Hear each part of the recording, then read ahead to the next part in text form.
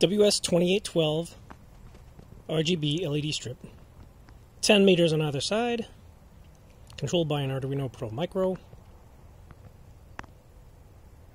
I think it looks nice. And those are just uh, wooden garden stakes with holes drilled through them to allow the strip to pass through.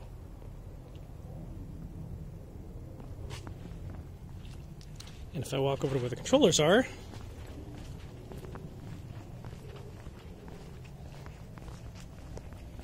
I've got one Arduino Pro Micro here and one Arduino Pro Micro here.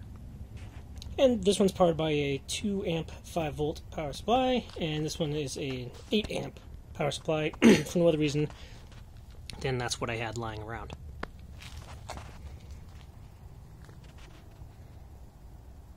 You can see my APA 102 spiral Christmas tree in the background.